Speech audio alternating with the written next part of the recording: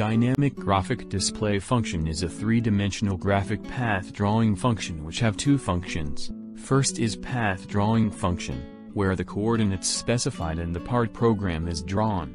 And second is animation graphic function, where the animation of workpiece machining is shown on the CNC screen. Easy navigation to dynamic graphic screen, by graph button on MDI.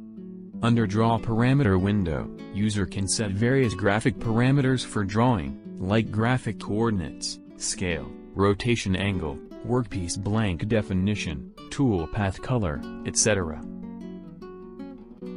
Part program for toolpath drawing or animation graphics, can easily be selected from drawing screen itself, by using Program Select option. This is how you can visualize three-dimensional toolpath of a sample die mold program before executing.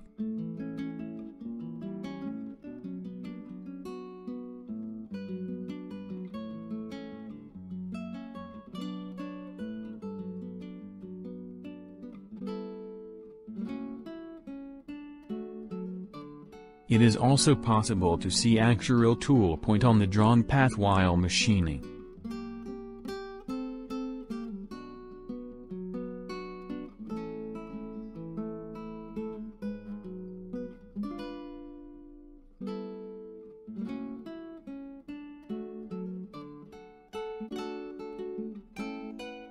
For animation graphics function, tool for machining can be selected from tool geometry size option under tool offset, where various geometry like drill, chamfer, flat end, ball end etc. can be selected. Here we are demonstrating animation graphics of workpiece machining by a programmed tool movement. By using animation graphics, intermediate machining process and final figure can be grasped easily as shown.